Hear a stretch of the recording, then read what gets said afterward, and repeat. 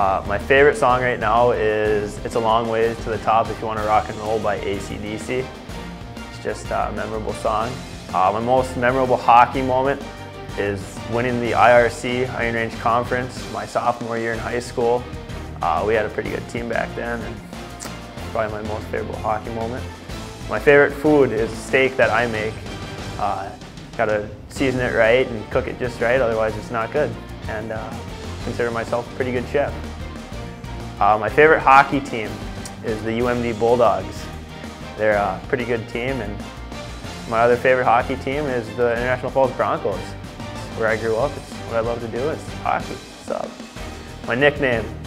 I didn't have a nickname until I got here and everyone's like, what's your name? And I was, William. Willie, you can call me Willie. Okay, Bill. So apparently it's Bill now. So, uh, it's whatever, I'll take it. Pretty good group of guys, so Bill's okay with me.